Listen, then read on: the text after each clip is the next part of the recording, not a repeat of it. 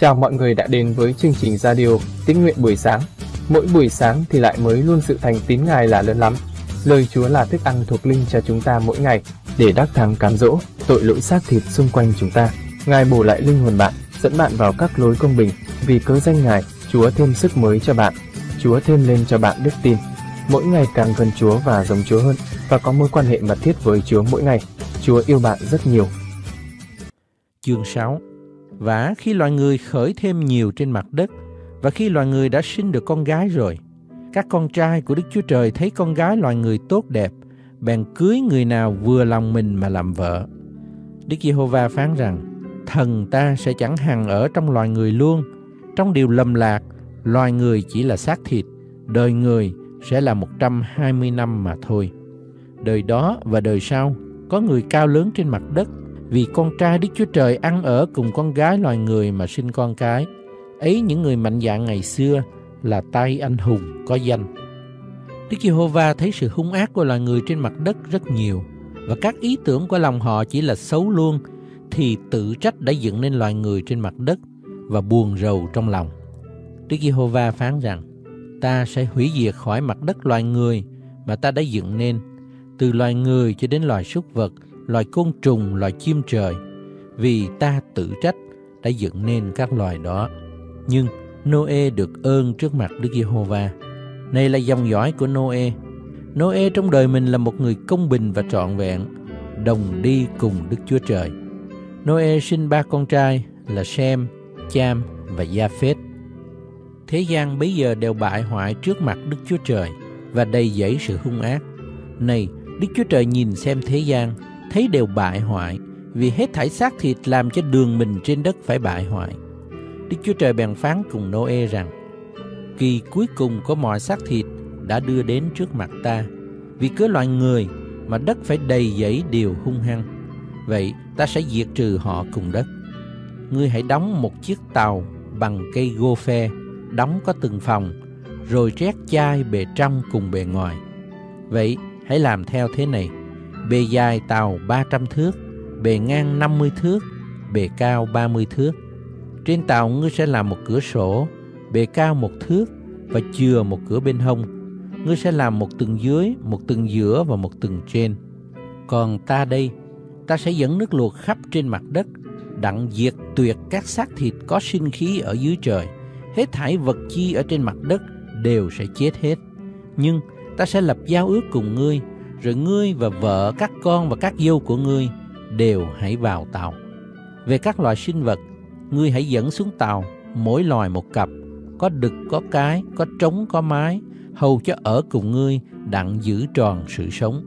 Chim tùy theo loại, súc vật tùy theo loại, côn trùng tùy theo loại, mỗi thứ hai con sẽ đến cùng ngươi để ngươi giữ tròn sự sống cho. Lại, ngươi hãy lấy các thứ đồ ăn đem theo, đặng để dành làm lương thực cho ngươi và các loài đó. Noe làm các điều này y như lời Đức Chúa Trời đã phán dặn. Chương 7 Đức Chúa Trời phán cùng Noe rằng, Ngươi và cả nhà ngươi hãy vào tàu, vì về đời này ta thấy ngươi là công bình ở trước mặt ta. Trong các loài vật thanh sạch, hãy đem theo mỗi loài bảy cặp, đực và cái. Còn loài vật không thanh sạch, mỗi loài một cặp, đực và cái. Cũng hãy đem theo những chim trời, mỗi thứ bảy cặp, trống và mái, để giữ giống ở trên khắp mặt đất. Vì còn bảy ngày nữa, ta sẽ làm mưa xuống mặt đất. Trong 40 ngày và 40 đêm, ta sẽ tuyệt diệt khỏi đất hết thảy các loài của ta đã dựng nên. Đoạn Noe làm theo mọi điều Đức Giê-hô-va đã phán dặn mình. Và khi lụt xảy ra và nước tràn trên mặt đất, thì Noe đã được 600 tuổi. Vì có nước luộc nên Noe vào tàu cùng vợ, các con trai và các dâu mình, loài vật thanh sạch và loài vật không thanh sạch, loài chim, loài côn trùng trên mặt đất, từng cặp, đực và cái, trống và mái, đều đến cùng Noe mà vào tàu, y như lời Đức Chúa Trời đã phán dặn người. Sau bảy ngày, nước luộc xảy có trên mặt đất. Nhằm năm 600 của đời Noe, tháng 2, ngày 17, chín ngày đó, các nguồn của vực lớn nổ ra và các đập trên trời mở xuống. Mưa sa trên mặt đất trọn 40 ngày và 40 đêm. Lại cũng trong một ngày đó, Noe với vợ, ba con trai Sem, Cham và Gia-phết cùng ba dâu mình đồng vào tàu. Họ và các loài, thú rừng tùy theo loại, súc vật tùy theo loại, côn trùng trên mặt đất tùy theo loại, chim tùy theo loại và hết thảy vật nào có cánh đều từng cặp theo Noe vào tàu. Nghĩa là mọi xác thịt nào có sinh khí, một đực một cái, một trống một mái đều đến vào tàu y như lời Đức Chúa Trời đã phán dặn. Đoạn, Đức Giê-hô-va đóng cửa tàu lại. Nước luộc phủ mặt đất 40 ngày. Nước dâng thêm nâng hỏng tàu lên khỏi mặt đất. Trên mặt đất, nước lớn và dâng thêm nhiều lắm. Chiếc tàu nổi trên mặt nước. Nước càng dâng lên bội phần trên mặt đất. Hết thảy những ngọn núi cao ở dưới trời đều bị ngập. Nước dâng lên 15 thước cao hơn. Mấy ngọn núi đều ngập. Các xác thịt hành động trên mặt đất đều chết ngột. Nào chim, nào súc vật, nào thú rừng, nào côn trùng và mọi người. Các vật có sinh khí trong lỗ mũi, các vật ở trên đất liền đều chết hết. Mọi loài ở trên mặt đất đều bị hủy diệt, từ loài người cho đến loài thú, loài côn trùng cùng loài chim trời. Chỉ còn Noe và các loài ở với người trong tàu mà thôi. Nước dâng lên trên mặt đất trọn 150 ngày. Chương 8 Vả, Đức Chúa Trời nhớ lại Noe cùng các loài thú và súc vật ở trong tàu với người, bèn khiến một trận gió thổi ngang qua trên đất, thì nước dừng lại. Các nguồn của vực lớn và các đập trên trời lấp ngăn lại, mưa trên trời không xa xuống nữa. Nước giật khỏi mặt đất, lần lần vừa hạ vừa giật, trong 150 ngày nước mới bớt xuống. Đến tháng 7, ngày 17, chiếc tàu tấp trên núi Ararat. Nước cứ lần lần hạ cho đến tháng 10, Ngày mùng 1 tháng đó, mấy đỉnh núi mới lộ ra. Được 40 ngày, Noe mở cửa sổ mình đã làm trên tàu, thả một con quả ra. quả liệng đi liệng lại, cho đến khi nước giật khô trên mặt đất. Người cũng thả một con bò câu ra, đặng xem thử nước hạ bớt trên mặt đất chưa. Nhưng bò câu chẳng tìm được nơi nào đáp chân xuống, bèn bay trở về trong tàu cùng người, vì nước còn khắp cả trên mặt đất. Noe giơ tay bắt lấy bò câu, đem vào tàu lại với mình. Đoạn, người đợi bảy ngày nữa lại thả bò câu ra khỏi tàu. Đến chiều, bò câu về cùng người và này trong mỏ tha một lá olive tươi. Noe hiểu rằng nước đã giảm bớt trên mặt đất. Người đợi bảy ngày nữa thả con bò câu ra, nhưng chuyến này bò câu chẳng trở về cùng người nữa. Nhằm năm 601 của đời Noe. Ngày mùng 1 tháng Giêng, nước đã giật bay mặt đất khô. Noe bèn dỡ mũi tàu mà nhìn. Này, mặt đất đã xe. Đến tháng 2, ngày 27, đất đã khô rồi. Đức Chúa Trời bèn phán cùng Noe rằng, hãy ra khỏi tàu, ngươi, vợ, các con và các dâu ngươi. Hãy thả ra với ngươi mọi vật sống của các xác thịt đã ở cùng ngươi, nào chim, nào thú, nào côn trùng bò trên đất, hầu cho chúng nó sinh sản và thêm nhiều trên mặt đất. Vậy, Noe cùng vợ người, các con trai và các dâu người ra khỏi tàu. Các thú, rắn, chim cùng mọi vật hành động trên mặt đất tùy theo giống đều ra khỏi tàu. Noe lập một bàn thờ cho Đức Giê-hô-va. Người bắt các súc vật thanh sạch, các loài chim thanh sạch, bày của lễ thiêu dâng lên bàn thờ. Đức Giê-hô-va hưởng lấy mùi thơm và nghĩ thầm rằng Ta chẳng vì loài người mà rủa xả đất nữa, vì tâm tánh loài người vẫn xấu xa từ khi còn tuổi trẻ. Ta cũng sẽ chẳng hành các vật sống như ta đã làm. Hễ đất còn thì mùa gieo giống cùng mùa gặt hái, lạnh và nóng, mùa hạ cùng mùa đông, ngày và đêm chẳng bao giờ tuyệt được. Chương 9 Đức Chúa Trời ban phước cho Noe cùng các con trai người mà phán rằng hãy sinh sản thêm nhiều, làm cho đầy dẫy trên mặt đất. Các loài vật ở trên đất, các loài chim trời và các vật hành động trên đất cùng các cá biển đều sẽ kinh khủng ngươi và bị phú vào tay ngươi. Phàm vật chi hành động và có sự sống thì dùng làm đồ ăn cho các ngươi. Ta cho mọi vật đó như ta đã cho thứ cỏ xanh. Song các ngươi không nên ăn thịt còn hồn sống, nghĩa là có máu. Quả thật, ta sẽ đòi máu của sự sống ngươi lại, hoặc nơi các loài thú vật, hoặc nơi tay người, hoặc nơi tay của anh em người. Hễ kẻ nào làm đổ máu người, thì sẽ bị người khác làm đổ máu lại, vì Đức Chúa Trời làm nên người như hình của Ngài. Vậy các ngươi hãy sinh sản thêm nhiều và làm cho đầy dẫy trên mặt đất. Đức Chúa Trời cũng phán cùng Noe và các con trai người rằng, Còn phần ta đi, ta lập giao ước cùng các ngươi, cùng dòng dõi các ngươi và cùng mọi vật sống ở với ngươi, nào loài chim, nào súc vật, nào loài thú ở trên đất, tức là các loài ở trong tàu ra, cho đến các loài vật ở trên đất. Vậy ta lập giao ước cùng các ngươi và các loài xác thịt chẳng bao giờ lại bị nước luộc hủy diệt và cũng chẳng có nước luộc để hủy hoại đất nữa. Đức Chúa Trời lại phán rằng, đây là dấu chỉ về sự giao ước mà ta lập cùng các ngươi, cùng hết thảy vật sống ở với các ngươi trải qua các đời mãi mãi. Ta đặt móng của ta trên từng mây, dùng làm dấu chỉ sự giao ước của ta với đất. Phàm lúc nào ta góp các đám mây trên mặt đất và phàm móng mọc trên từng mây, thì ta sẽ nhớ lại sự giao ước của ta đã lập cùng các ngươi và cùng các loài xác thịt có sự sống, thì nước chẳng bao giờ lại trở nên luộc mà hủy diệt các loài xác thịt nữa. Vậy, cái móng sẽ ở trên mây. Ta nhìn xem nó đặng nhớ lại sự giao ước đời đời của Đức Chúa Trời cùng các loài xác thịt có sự sống ở trên đất. Đức Chúa Trời lại phán cùng Noe rằng, đó là dấu chỉ sự giao ước mà ta đã lập giữa ta và các xác thịt ở trên mặt đất. Các con trai của Noe ở trong tàu ra là Sem, Cham và Japheth, và Cham là cha của Canaan. Ấy đó là ba con trai của Noe, và cũng do nơi họ mà có loài người ở khắp trên mặt đất. Và Noe khởi cày đất và trồng nho, người uống rượu say rồi lõa thể ở giữa trại mình.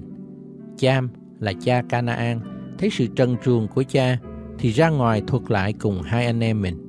Nhưng Sem và Japheth đều lấy áo choàng vắt trên vai mình, đi thùi lui đến đắp khuất thân cho cha. Và bởi họ xây mặt qua phía khác nên chẳng thấy sự trần truồng của cha chút nào. Khi Noe tỉnh rượu rồi, hay được điều con thứ hai đã làm cho mình, bèn nói rằng, Canaan đáng rủa xả, nó sẽ làm mọi cho các tôi tớ của anh em nó. Người lại nói rằng, đáng ngợi khen Jehovah là Đức Chúa Trời của Sem thay. Canaan phải làm tôi cho họ cầu xin Đức Chúa Trời mở rộng đất cho Gia Phết, cho người ở nơi trại của Sem, còn Canaan phải làm tôi của họ. Sau khi luộc, Noe còn sống 350 năm. Vậy, Noe hưởng thọ được 950 tuổi, rồi qua đời. Chương 20 Ngày thứ nhất trong tuần lễ, lúc rạng đông, trời còn mờ mờ. Marie Madeleine tới mộ, thấy hòn đá lấp cửa mộ đã dời đi.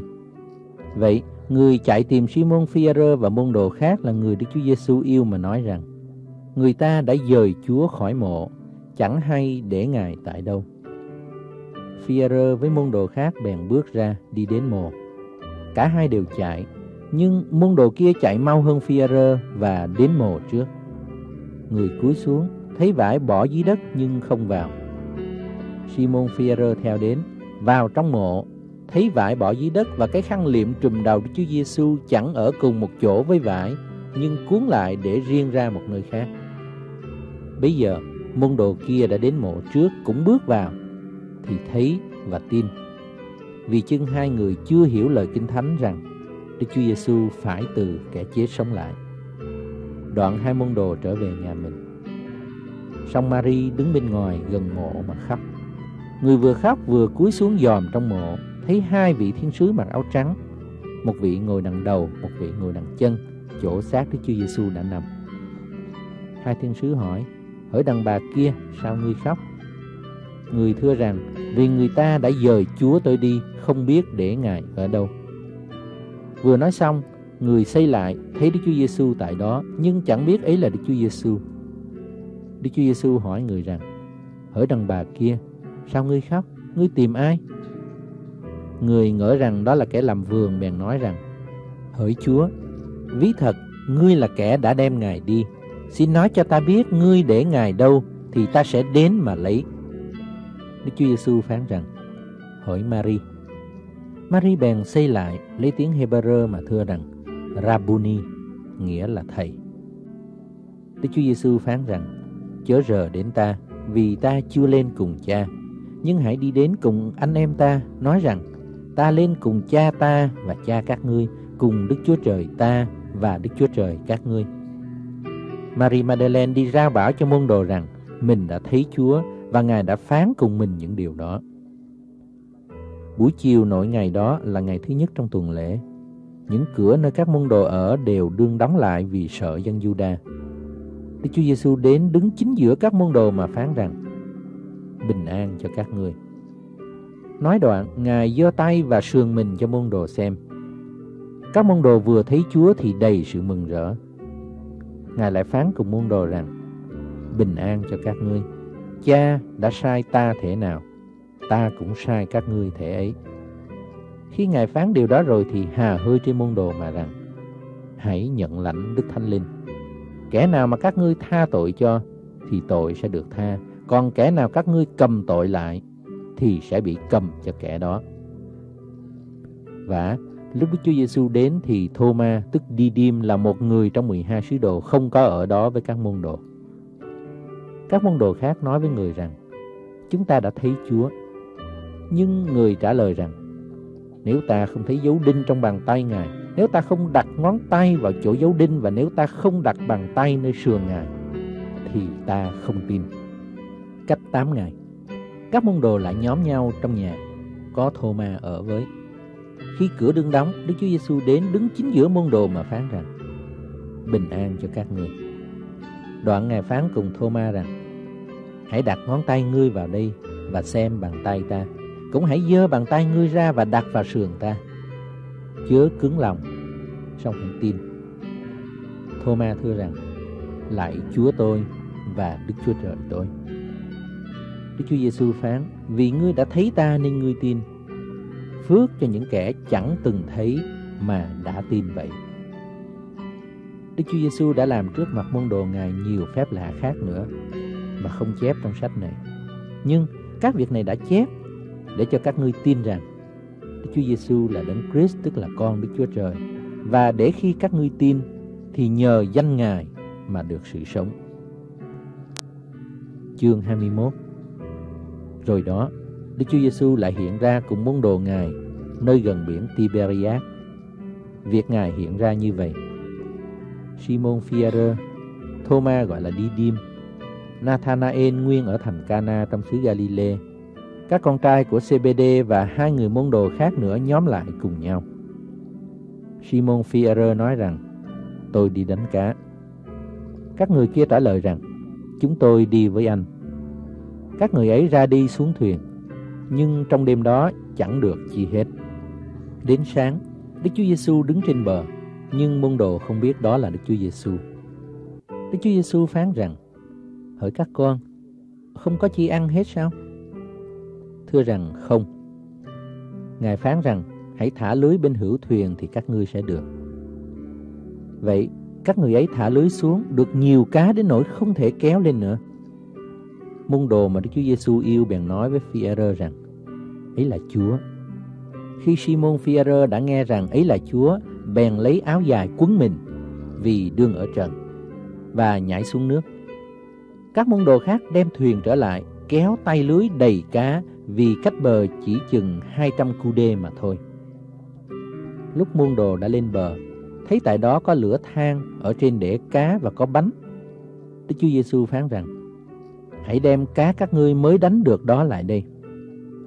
Simon Fierro xuống thuyền, kéo tay lưới đầy 153 con cá lớn lên bờ. Và dầu nhiều cá dường ấy, lưới vẫn không đứt. Đức Chúa Giêsu phán rằng, hãy lại mà ăn. Nhưng không một người môn đồ nào dám hỏi rằng, ngươi là ai, vì biết quả rằng ấy là Chúa. Đức Chúa Giêsu lại gần, lấy bánh cho môn đồ và cho luôn cá nữa Ấy là lần thứ ba mà Đức Chúa Giêsu hiện ra cùng môn đồ Ngài sau khi Ngài từ kẻ chết sống lại. Khi ăn rồi, Đức Chúa Giêsu phán cùng Simon Phi-e-rơ rằng: Hỡi Simon, con Giô-na, ngươi yêu ta hơn những kẻ này chăng?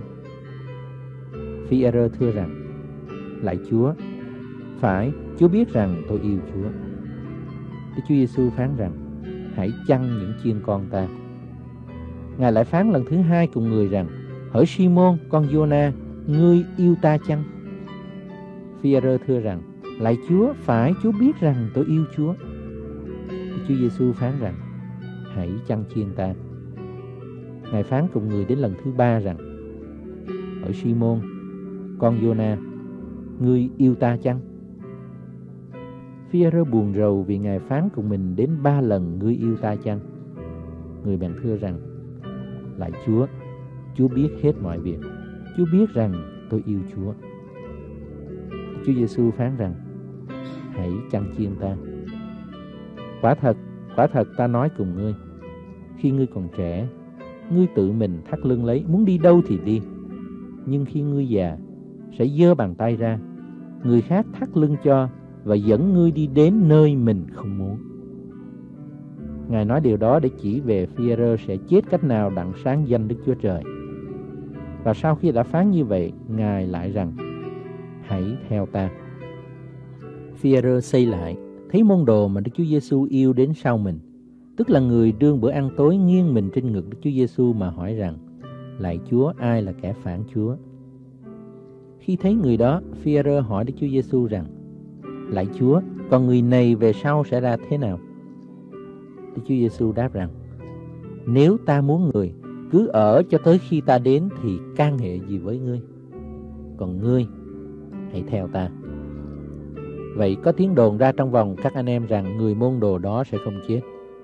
Nhưng Đức Chúa Giêsu vốn chẳng phải nói rằng người đó sẽ không chết, song nói rằng nếu ta muốn người cứ ở cho tới khi ta đến thì can hệ gì với ngươi đó thôi.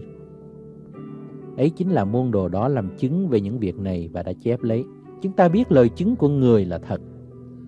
Lại còn nhiều việc nữa mà Đức Chúa Giêsu đã làm. Ví bằng người ta cứ từng việc mà chép hết thì ta tưởng rằng cả thế gian không thể chứa hết các sách người ta chép vậy.